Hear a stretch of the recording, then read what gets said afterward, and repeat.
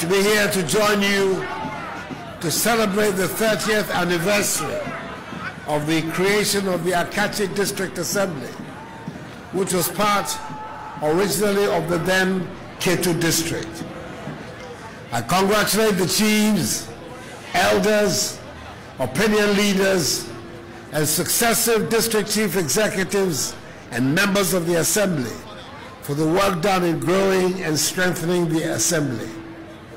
Delivering on government's agenda should also mean that you pay particular attention and help in the effective delivery of our flagship programs, such as the Free SHS, Planting for Food and Jobs, and the IPEP, which is providing the equivalent of $1 million per constituency to finance capital expenditure for infrastructure and other facilities in the localities.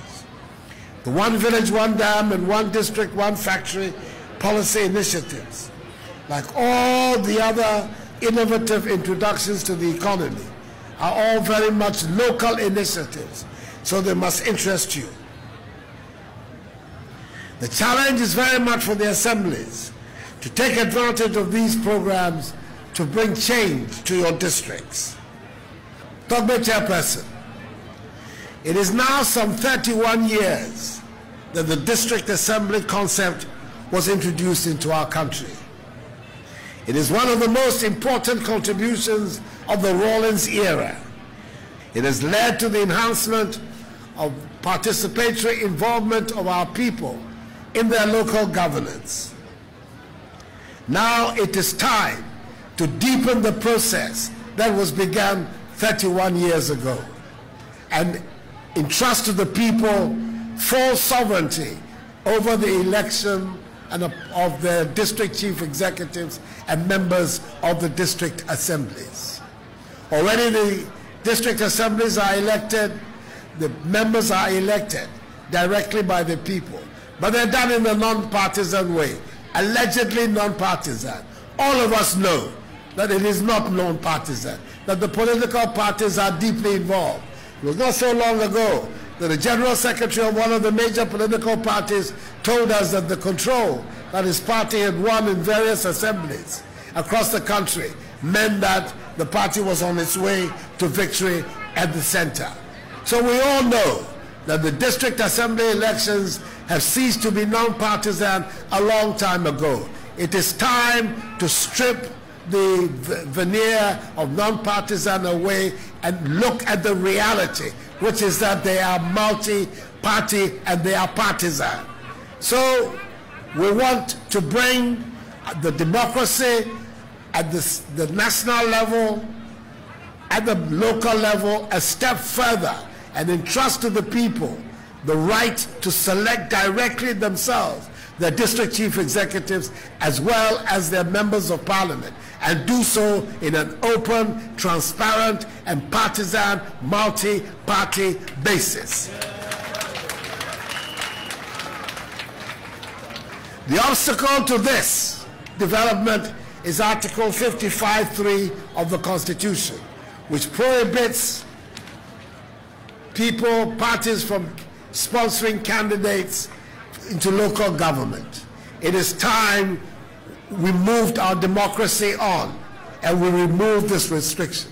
And that is why the parliament, together with the executive, we've gone through the motions and the processes necessary for us to do so. And we will do so on the 17th of December when the referendum is held, along with the district assembly elections, to decide whether or not we should move one step further in the consolidation of democracy in our country. The time has come for us to move forward and bring greater and more effective progress to our country. So I'm asking all of you on the 17th of December, when you go to vote for the district, uh, for your members of your district assembly, to also vote in the referendum. Support the initiative that the government has taken to bring greater and greater control over local government to the people in the area. No longer do you have to complain How come the president has brought us this man we don't like? Or this man we don't know? Now you can choose for yourself directly the man or woman you want as your district chief executive. No president is going to be involved anymore. I, I have the power. I say, I'm giving you the power. You choose and relieve me of the burden. You choose. I want you to be the ones to make the decision for yourselves.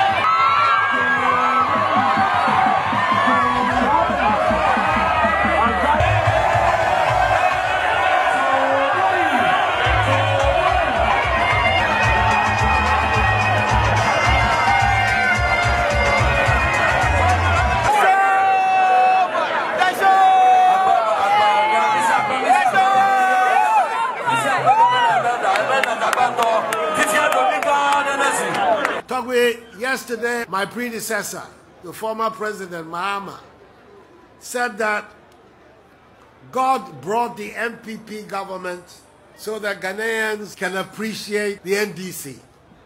Hey, so Ghanaians want stagnation, not progress. They want high inflation, not low inflation. Ghanaians want the Unemployed Graduates Association they don't want NABCO. They want a poor agriculture, not planting for food and jobs. No new industries.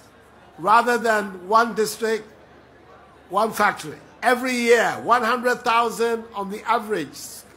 JHS students, when he was in office, could not find a place in secondary school and had to go home because their parents could not afford it. Ghanaians prefer to go back to that and not free SHS. The people who are asleep, who were asleep when they were in the comfortable lead, only to wake up to find that the country had rejected them. They are still asleep. They will not wake up and see that Ghana has moved on. We are moving on to a new era of hope and progress in our country. We have a leader who has no record he can defend, who has no prescriptions for the future no policies for the future. We have never heard any policy coming from this leader about what is going to happen in the future under him. Negativity, negativity, negativity. That's all we hear. Ghanaians have moved on. God, God is not so wicked as to punish Ghanaians again with the, the rule of John Mahama and the National Democratic Congress. That is not what God is going to do. Ghana has moved on, and we are now in an era of hope and an era of progress, and we're going to march on. Next year, the people who are still asleep are going to get another big jolt with an impending victory of the NPP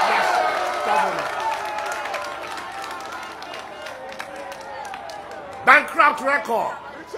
Bankrupt future. That is what we have under this leader. Our country, we're not turning back.